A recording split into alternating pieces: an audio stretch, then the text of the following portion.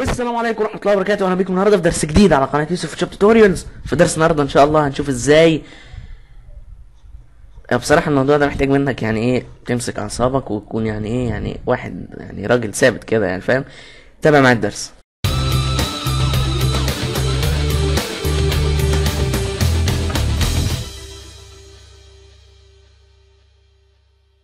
في درس النهارده إن شاء الله هنتكلم عن انت ثابت؟ آه اعصابك حديد يعني؟ ال pen tool. Master Bruce. أيوه ان شاء الله النهارده هنتكلم عن ال pen tool. ممكن ما يبقاش النهارده بس ممكن ان شاء الله هتبقى دروس أو هتبقى مشوار. على الفيس عندي لو انت متابع عندي على الفيس هتلاقيني منزل ال post اللي ظاهر قدامك على الشاشة ده. ده ما اقصدش بيه اي حاجة ممكن تكون عميقة جت في بالك خالص. مش مفيش أي عمق في الموضوع ده. لكن المشوار هو هيبقى مشوار إن شاء الله مشوار ال pen tool. سمعت آراء كتير قوي على موضوع ال pen tool ده موضوع ال pen tool سخيفة المو... ال pen tool آه، ما بعرفش استخدمها ال pen tool صعبة آه، ده لدرجة إن في حد طلب مني ممكن درس vector من غير pen tool آه، مش عارف ده حصلت إزاي برضه تستاهل نفس المزيكا.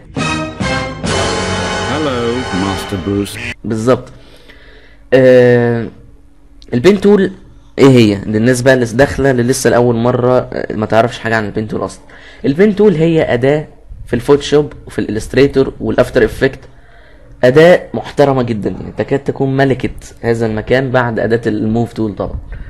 أفتح بس new بأي مقاس ال pen tool زي ما هي باينة من اسمها هي اسمها يعني كأنها اسمها أداة القلم بس هي مش قلم خالص. هي بس هي عاملينها شبه القلم القديم أيام ال pen اللي هو القلم الحبر يعني.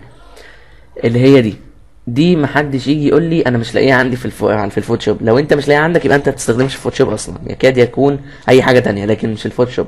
لأن الفوتوشوب لازم يبقى فيه شريط الأدوات ده كامل كامل. إلا أدوات بسيطة يعني ديت مثلا مش هتلاقيها غير في إصدارات ال CC اللي هي من أول 2014 لكن كل الأدوات دي هتلاقيها موجودة من أيام الفوتوشوب 7 يعني أنا كانت عندي ال pen tool أيام الفوت أيام ما كنت بستخدم الفوتوشوب 7 فال pen tool اللي هي دي.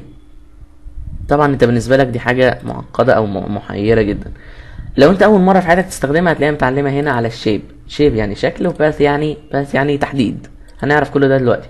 ال pen tool بالنسبة لك لما بتدوس كده تلاقي نفسك عملت نقطة فأنت مش فاهم يعني يا أداة بتعمل نقطة اسمع مني للاخر اما هاجي أدوس نقطة هنا عملت خط برضو مش فاهم إيه ده.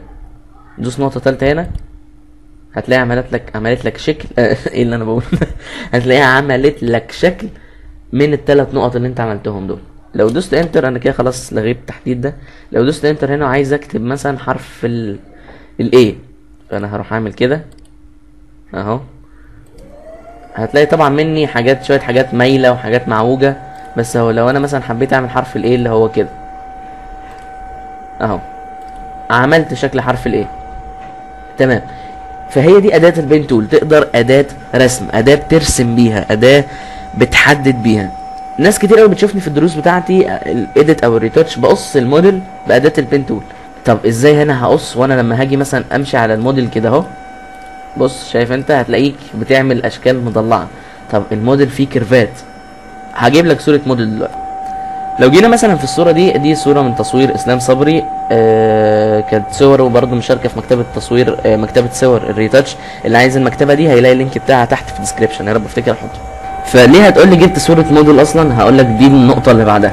زي ما انت شفت هنا أداة ال pen tool أداة بتعمل أضلاع بتعمل تضل- تضليع تضليعات كده ما ينفعش أمشي بيها. اللي هي اللي هي كأنه زي زمان كده ما كنت بتقص بالأداة دي ال polygon lasso tool دي. اللي هو هتلاقي نفسك بتعمل كده. طب أنا همشي بيها على على حاجات curve إزاي؟ كنا زمان بن يعني إيه بنقعد نعمل إيه أضلاع صغيرة كده عشان نعمل في الآخر شكل curve كده. لكن الفوتوشوب حب يحل لك العناء الطويل ده.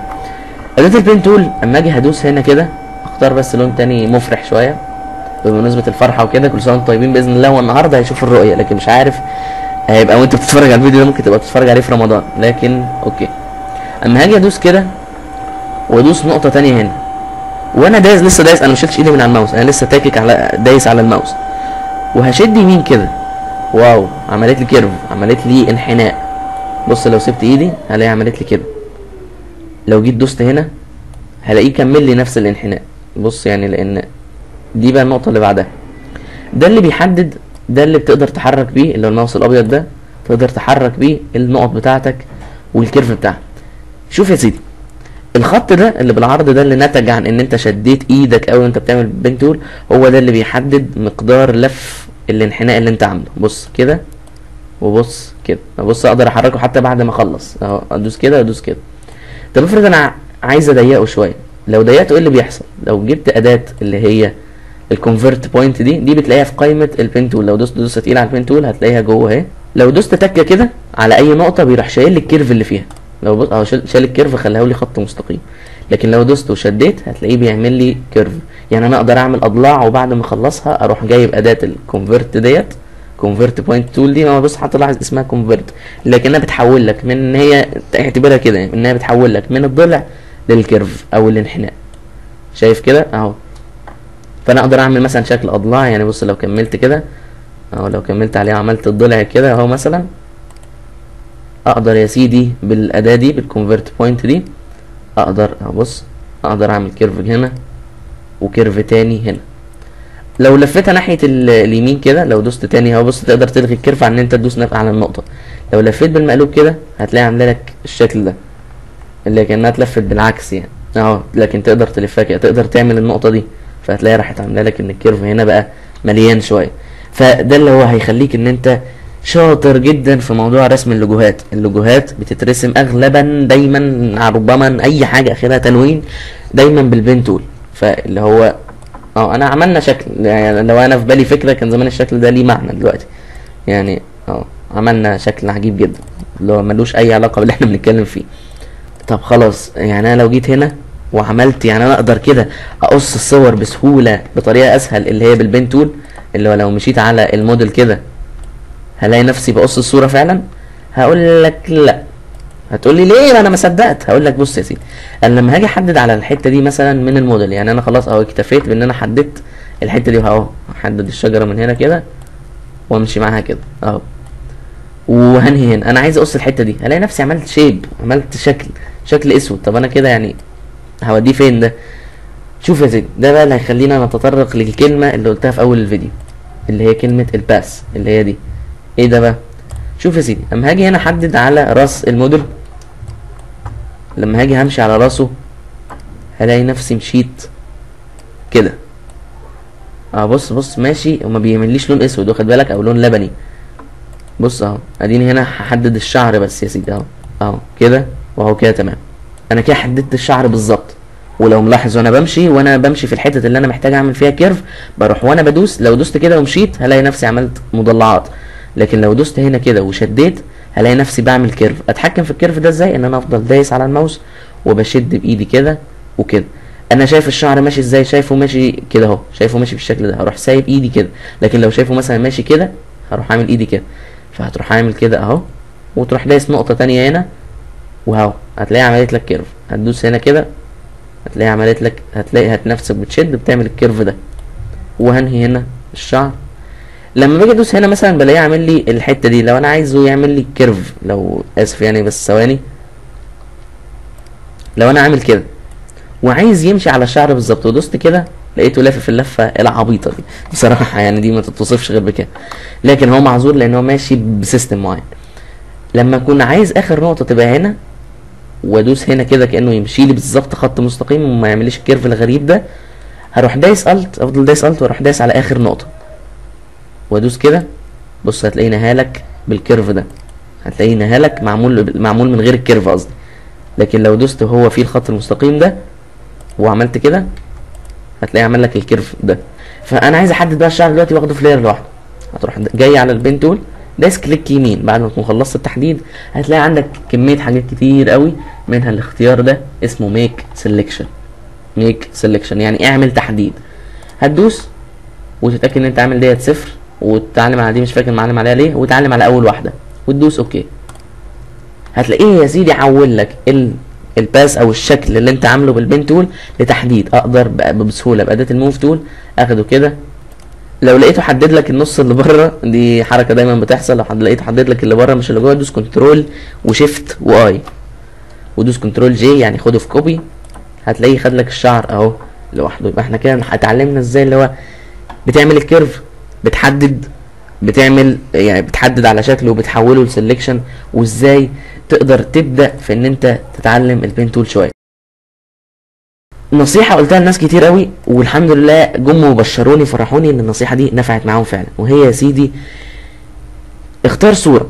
زي مثلا ما أنا دلوقتي جبت صورة الموديل دي مثلا اللي هي الصورة دي وبدأت أرسم على الشعر. اختار أنت صورة بسيطة ما تعقدهاش على نفسك من البداية. اختار صورة بسيطة وابتدي حدد عليها كل شوية. فلما تبتدي تحدد عليها أكتر من مرة هتلاقي نفسك وصلت لحاجة كويسة جدا في الم- في الموضوع ده. لكن بشرط تبقى نفس الصورة وتتعلم تحدد عليها كل يوم مرتين أو ثلاثة بالكتير. ثلاث مرات ده بالقليل مرتين بالكتير. هي العكس اعكس الجملة هتلاقي نفسك فهمتها. ثلاث مرات بالكتير ومرتين بالقليل. نفس الصورة هفتح كل هفتح الصورة دي ثلاث مرات في اليوم واحدد على نفس الحاجة يعني أنا مثلا لو عملت ال- التشالنج بتاعه تحدد تحديد التح آه. لو أنا مثلا عملت ال- التشالنج بتاعي يكون هو دوت أو اللي هو يعني الهدف اللي أنا عايز احققه انه يكون إن أنا عايز أحدد الإيد هروح قصص الصورة كده قصصها كده أهو وهخلي عندي صورة الإيد دي إن أنا كل يوم ثلاث مرات في اليوم هخش أحدد على الإيد. أول مرة هلاقي نتيجة عجيبة جدا مش هترضيك. تاني مرة مش راضياك قوي تالت مرة هتلاقي نفسك اللي واو أنا عملت حاجة حلوة. اليوم التاني اليوم التالت. استمر عليها تلات أيام بس. وإن شاء الله هتيجي تقول لي إن أنت بقيت أستاذ. وإن شاء الله الكورس بتاعنا ده دي المفاجأة بقى. دي المفاجأة اللي تكاد تكون قريت اسمها في الفيديو أو نسيت أكتبها. هي إن شاء الله إن إحنا هننتهي ب course ال pen tool ده تعليم ال pen tool ده بالرسمة اللي قصادكم دي. هيبقى ده آخر درس في السلسلة دي وبعد كده هنبتدي دروس vector art. كان معكم يوسف محمد من قناة يوسف شوب tutorials أتمنى يكون حلقة النهارده عجبتكم. لو ما تنساش لو ما تنساش لو عجبتك دوس like للفيديو و share عشان كل واحد عايز يتعلم. ي... إن شاء الله ال pen tool ويوصل للرسمة اللي في الآخر دي. هنعمل إن شاء الله شغل كويس. كان معكم يوسف محمد من قناة يوسف شوب توتوريالز سلام عليكم.